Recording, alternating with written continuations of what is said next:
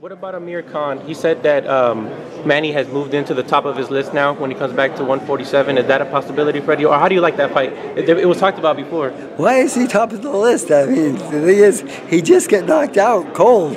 I mean, he better take some time off and just readjust and, and like, I think that maybe, maybe, maybe he said that because of the knockout, because, like, the, the, he needs some time off. That was a devastating blow. I mean, I, am happy that he's. I'm really happy that he, he's okay, because uh, you know I don't want anyone to get hurt in the ring, of course.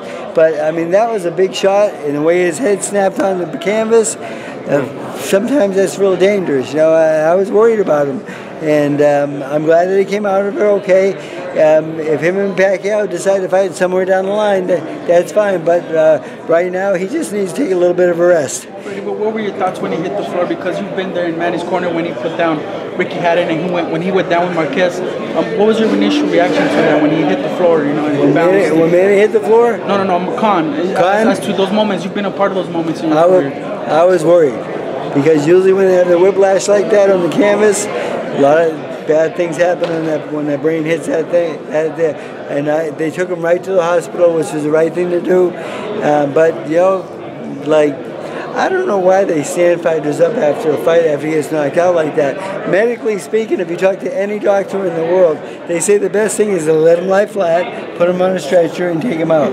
I mean, but it looks good for the audience when they get up and walk. You know, but the thing is, it's a little bit dangerous, I feel.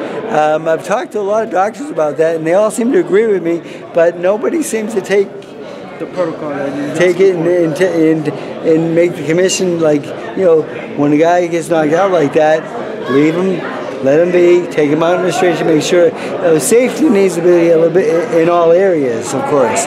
Not just the trainers, not just the fighters, the promoters, every, and the doctors and the commissions. They should all know these things because, I mean, you know, I know a lot because my ex-girlfriend's a doctor. right? And then she, I asked her, can you ask, I asked her, to ask 10 doctors that question. And they all answered the same.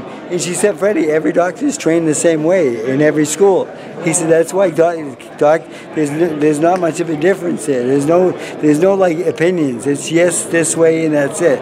And that's how that, but I, you know, when they got him up, I was a little bit worried. I mean, because, you know, his he hit his head hard, you know. Concussions are terrible.